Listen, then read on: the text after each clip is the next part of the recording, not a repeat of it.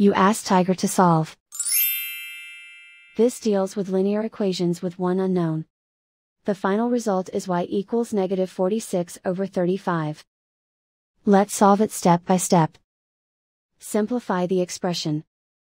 Find the lowest common denominator. Multiply the denominators. Multiply the numerators. Combine the fractions.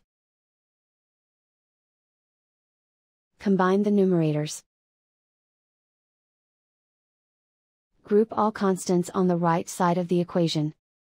Subtract 1 over 3 from both sides. Group like terms. Combine the fractions. Combine the numerators. Reduce the zero numerator. Simplify the arithmetic. Find the lowest common denominator. Multiply the denominators.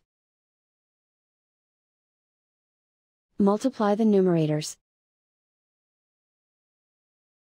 Combine the fractions. Combine the numerators. Isolate the y.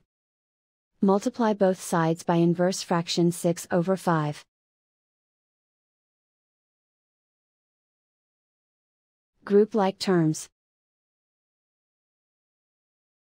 Multiply the coefficients.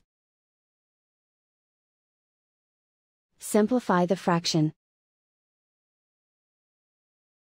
Multiply the fractions.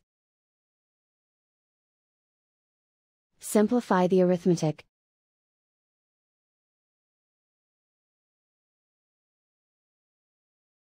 And so the final result is y equals negative 46 over 35.